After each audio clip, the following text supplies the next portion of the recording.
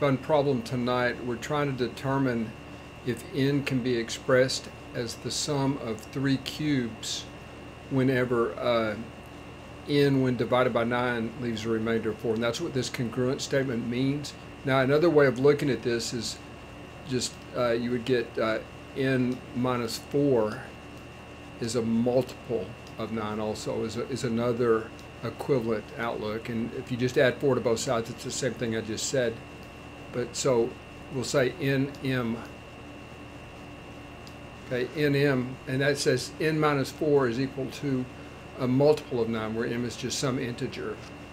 Now, the way to get a handle on this is just to note that every integer uh, has a remainder equal to 0, uh, 1, 2, 3, 4, 5, 6, 7, or 8 upon division by 9. And so that, that leads to this computational step right here where we cube all of these uh, remainders 1 through 8 and see what they're congruent to mod 9. Now, it's understood we're doing mod 9 down here. I don't repeat that, but it is mod 9. Now, if you'll take a look here, maybe uh, just, just an example here. Uh, let's take a look maybe at this. Uh, you may wonder where the 1 comes from. Well, notice that uh, 64 uh, 64 minus 1 is equal to uh, 9 times 7. Equal to 9 uh, times 7 right here. Okay? And that's exactly this statement right here. Okay?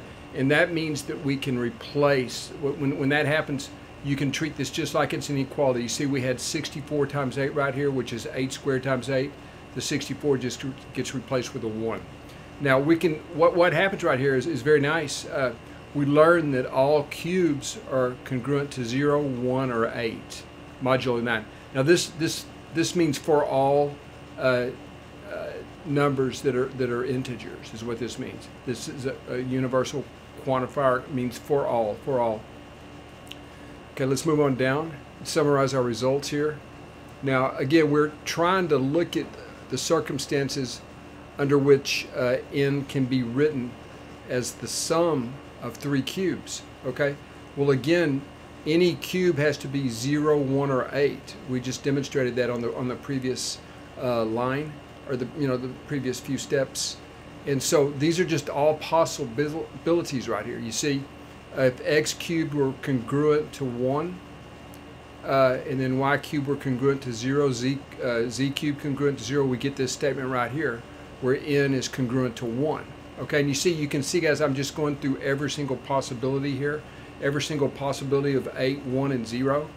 Okay, and so notice we get 1, 2, 3, but 4 is missing. Now right here, you uh, 16 is congruent to 7. Okay, 16 minus 7 is 9. Uh, 24 right here is uh, congruent to 6, right?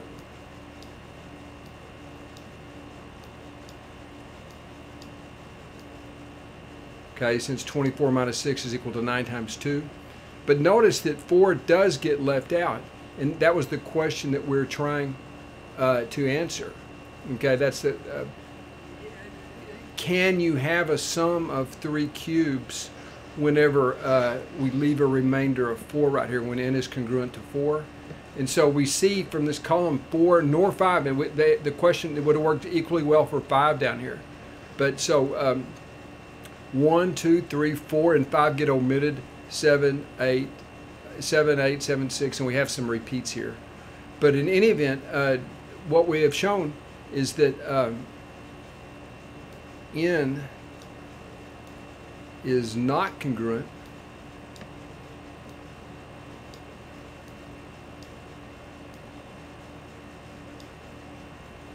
for mod 9. Now I'm going to just work one concrete example here. Uh, so we, will put mod 9 here. Just look at a, a, a number that would satisfy the congruence uh, of 4. Let me write that down. So uh, again, um, N is never congruent to 4, and so it never can be expressed. Uh, so the answer to this question is no.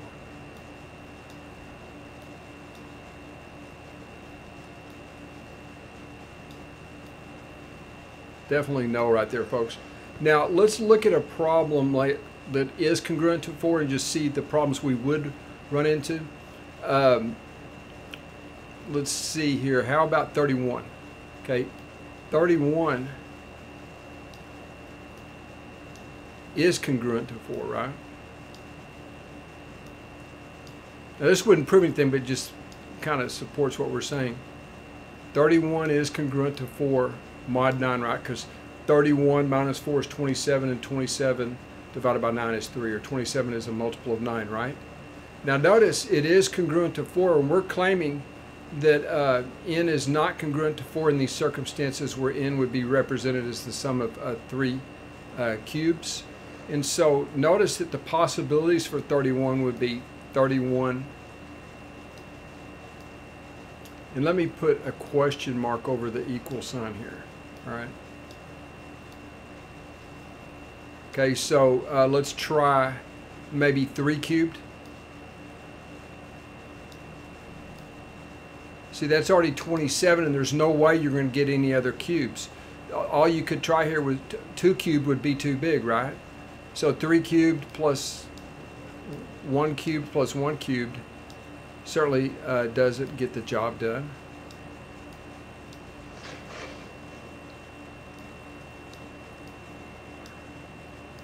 See, this is 2729, and you can see that there's not going to be any solutions to this. Uh, uh, maybe you could, you maybe you want to try two cubed, right? Um,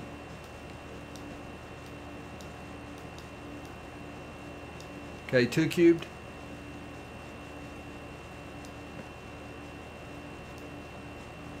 That would be 8.